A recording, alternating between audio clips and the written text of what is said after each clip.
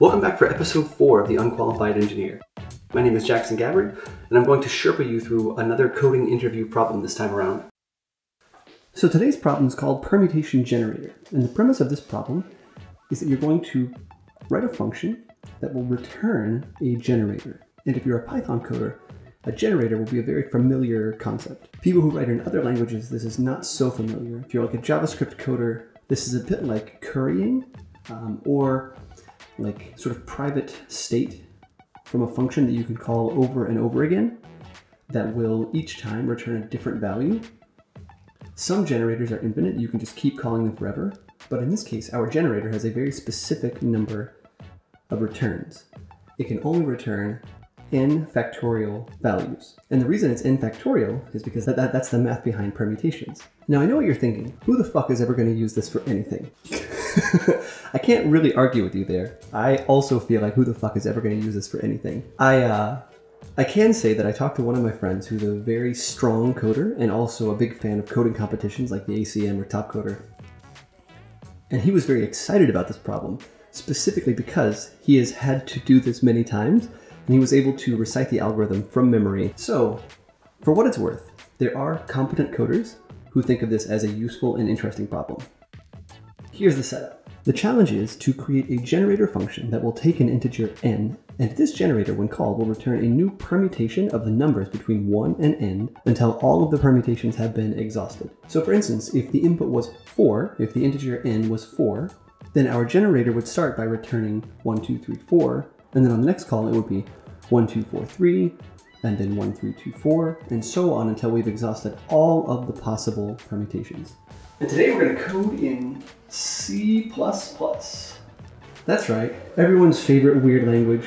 Now it's worth pointing out that I'm not actually a real C++ coder. You know what they say? You can teach an old dog new tricks. Or no, that's not what they say. What do they say? That you can't teach a JavaScripter to write code? No, what is it? Anyway, I've been learning C++, and I'm really excited to attempt this video in C++. Generally, I would say don't ever code in a coding interview in a language that you don't know exceptionally well but in this case, I had time to research and make sure that the code is correct and have it reviewed by some of my competent C++ coder friends. And so I feel confident that I'm putting forth code here that would not get you fired or lose you a job if you were to emulate it. And because it's C++, I'm happy to say that we're going to code with Hungarian notation today. Just kidding, we don't hate ourselves. Now let's talk about this problem in concrete terms. We've already talked about the fact that you would start with something like 1, 2, 3, 4. You could generate these permutations in any order. There's no requirement of this problem to keep it in one order or another. Now, if you take the problem the way it's drawn out here, you might immediately notice that these numbers are basically in numerical order, but given that they're not actually integers on their own, they're sets of integers. Maybe I should have put commas between them. So with the commas included, it's actually a little bit clearer that they're not so much in numerical order as they are in lexicographic order. And if you think about it this way, it could actually be anything that can be ordered in a deterministic way instead of numbers. Like we're using numbers here, but it could be anything. These could be letters from the alphabet. They could be your friends in the order in which you like them. They could be political parties sorted by average IQ. And so really the problem here becomes not so much generating permutations, but actually figuring out how to increment a vector of objects lexicographically. Because if you enumerate all of the possible lexicographic orderings of the vector, you will therefore also enumerate all of the possible permutations, because they are one and the same. Let's look at a more complex example. Take, for instance, a permutation of the integers between 1 and 5. How about 3, 5, 4, 2, 1. Now if you stare at this long enough, you would eventually arrive, assuming you follow an algorithm like what we're going to design here, you would arrive at the notion that it is 4, 1, 2, 3, 5. Now the important question here is why? Or rather, how? It's easy enough for anyone who's ever learned to count to say why. It's like because when you count up past this, the next number you can find that has all of the digits in it is 4, 1, 2, 3, 5. But we're not just doing counting here we're actually implementing lexicographic incrementation. When I think about these kinds of problems or any type of puzzly question, which I absolutely consider this to be, which is part of why I think it's a shitty question to ask in an interview, the thing I look for is what I would call like a grip, a piece of the puzzle, a detail of the problem that lets you sort of claw your way, crawl through the muck and the mire of the problem until you understand how to actually solve it. And in this case, one of those grips is that the number is in reverse sorted order up until there is a decrement, up until the numbers go down. So if you, if you start at the right side, you'll notice it's 1 followed by 2, which is bigger, followed by 4, which is bigger, followed by 5, which is bigger, and then a 3. That's a super, super key piece of this problem because no matter which version of this problem you're trying to solve, anytime you go down, that's where the incrementation happens. That's the, the place in the vector where the opportunity to increment comes from. And you can know this because you'll notice before that number, all of those numbers are the biggest possible numbers they can have. You're putting the biggest numbers in the highest order places in the vector, which means you can't possibly increment from there. So you have to have a place where it descends in order to be able to increment. So if we assume at that decrement, at that point where the numbers go down, that that's where we're going to start our process of creating the next permutation or the next lexicographic incrementation, then the question becomes, okay, so what do I do? Like what actually happens here? And if you look at the after case, if you look at the place that we're going to get to, one thing you should notice is that there has been a reversal. Specifically, it's all the numbers after the place that we care about. They're all now in sorted ascending order. Another way to say that is to say that the biggest numbers are in the lowest order positions in the vector. Knowing these things, we've got major parts of the problem within reach. One, we need to find the place in the vector where the value goes down, where we go from a higher value to a lower value, and we need to reverse sort the rest of the vector after that point. But we're clearly missing a detail here, because if we just apply what we've talked about, what we would end up with would be 3, 1, 2, 4, 5. And that's obviously not what we have in the second case. We have 4, 1, 2, 3, 5. But those two numbers are only off from each other by one digit. There's one misplaced digit in the 3, 1, 2, 4, 5 case from the 4, 1, 2, 3, 5 case. And that is that the 3 and the 4 are misplaced. And that's the third grip of this problem. That's the third tricky thing to notice. That in order to implement lexicographic incrementation, when you find the decrease, the next thing you have to find is what's the next biggest number that should go in that spot. So you find that number, which in this case is 4, and then you swap those numbers. You replace the 4 with the 3, and the 3 with the 4. So then what you have would be 4, 5, 3, 2, 1. And you'll notice at that point that you've got a 4, and then you've got a reverse sorted suffix, you could call it. Then you've got a reverse sorted tail. And so from there, it's really easy to just swap the start of the tail with the end of the tail, and the next one after that with the next to last, and the next one after that, the next one, however, however many you have, to reverse the tail of the list. And what you end up with is exactly what we want here. The exciting part is this works for every case. It works whether the decrease is at the very end or at the very beginning, or if there are many decreases in the same vector, you start at the rightmost one, and that will make sure you're always modifying the lowest order positions in the vector first, uh, and then you get to the higher order ones later, and that's how lexicographic incrementation works. Okay, okay, okay, enough with this understanding the problem nonsense. Let's get to writing the code. So we're gonna code in C++, and we said that we're going to do this as a generator. Now I'm basically an expert in C++, and when I think of something you can call over and over again and each time get a different value, I think of functors. Now I have very limited whiteboard space here, so I'm going to break this problem into two parts. One part is going to be setting up the structure of the functor, and the second part is going to be implementing the logic to generate the permutations. So let's talk about the functor first. And I can already tell I'm going to get grief from some snobby C++ programmer who says I'm wasting my time with things like vowels and uppercase. To you, friend, who wants this to be permutation underscore generator, fuck you. I bet your favorite variable name is A, and I bet everyone hates reading your code. So I'm going to call my abstraction permutation generator. So what's this thing going to do? Well, we know it's going to take an n, it's going to take some size, and it's going to create a vector of all of the numbers between 1 and that number. So let's give ourselves an affordance for those things. C++ functors effectively have a constructor that stores some initial state, and then they implement the function execution operator to do something with that state. They're used a lot in algorithmic programming, especially. Of course, there are a million different ways to construct objects in C++. I'm going to leave it at this for now. Choose your own adventure in your own code. So the only thing we need from here is the function execution operator to be implemented. And in our case, it's going to return a vector of integers. So that is the very healthy skeleton of the code. And what this will allow us to do is to create a permutation generator and then call it whenever we need to. So now let's zoom in on this function execution operator. Okay, so imagine we're inside the class, we're inside of permutation generator, and we're implementing the contents of the operator for function execution. Now, if you recall, we didn't actually fill in our vector. It's empty right now. So the first thing we should probably be doing here is when someone executes the function, we should fill that sucker with contents.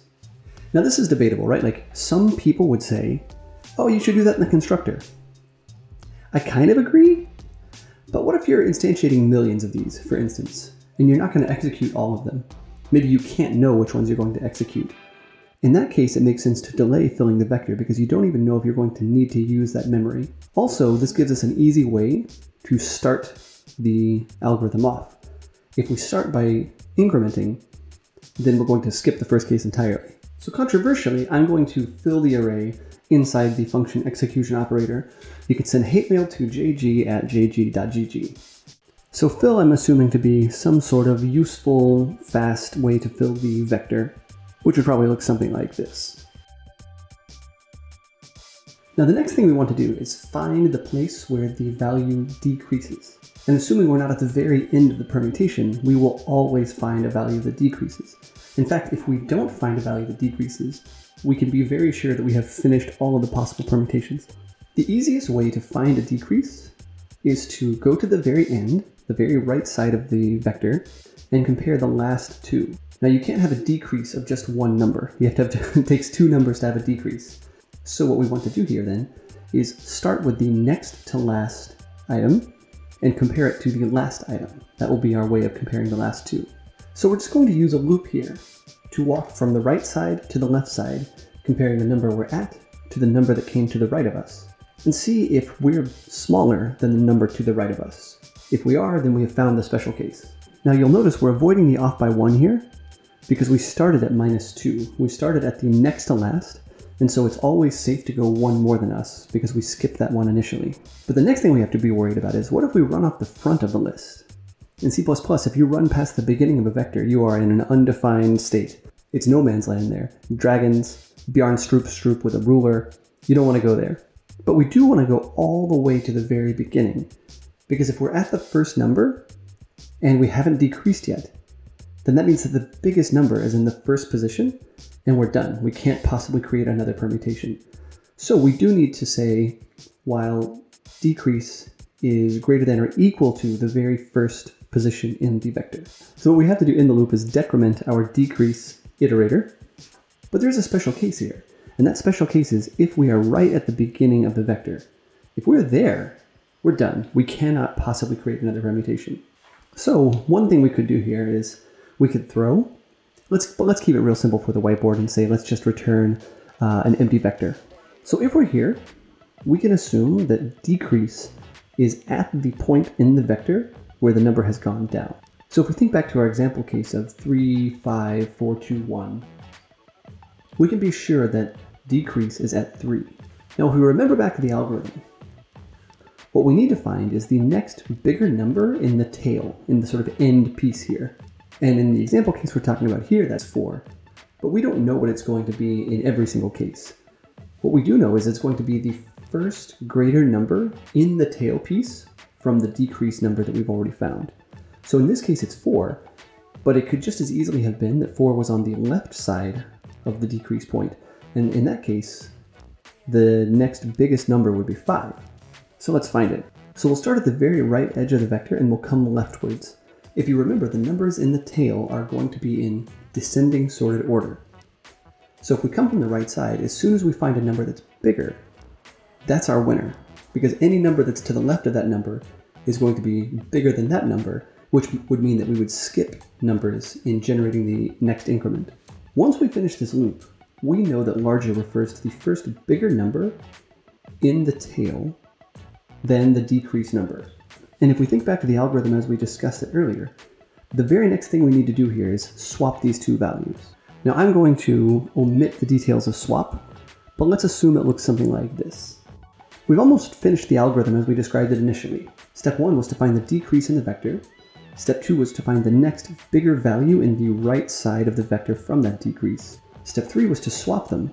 Step four is now to reverse the remainder of the vector so that it will go from descending sorted order to ascending sorted order, putting the highest order numbers at the lowest order positions. So let's do that. I think we can easily do that with just two iterators and a loop.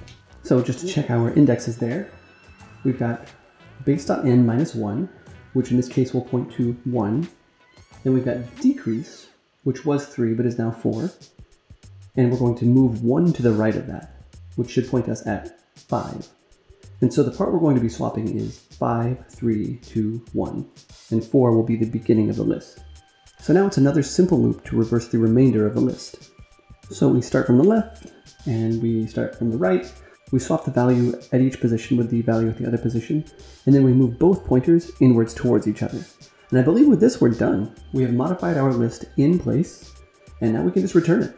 So, so while generating all of the possible permutations of a list of numbers is actually an n factorial complexity problem. Here, our algorithm is only doing one iteration across the list for every call. So it's an O of n complexity solution to generating the next possible permutation. So I guess you could say this is an n factorial times n problem if you wanted to include the complexity of generating all of the permutations, which of course in, in big O would just be n factorial. Probably the most exciting thing about this though is that it's an in-place manipulation, so there's no additional memory. This is a, a, bit higher complexity than some of the other problems you would face. And like I said before, I really think of this as kind of a, well, to put it in my terms, I would call this a dickhead coding interview question. Not because it's super high complexity, the complexity is tractable, because there are too many little things that you have to notice in order to solve it efficiently. This falls into that category of question that you either get or you don't get, and it has nothing to do with your ability to code a solution to it effectively. And to me, that makes for a bad interview question. The best interview questions are ones where you have something to figure out. It's not so puzzly that if you don't happen to get the moment of insight, you're screwed for the rest of the interview. I'm including it in my video series because it's absolutely the kind of question that you would face off against at a very sort of algorithmic kind of company, the kind of company that really prides itself on its uh, computer sciencey prowess. And that's all. I hope you guys enjoyed it. If you have comments, if you think my C++ sucks, if there's a million different ways to do it, please comment below. I would love to see a nerdy, smart comment fight on YouTube for once. So go for it.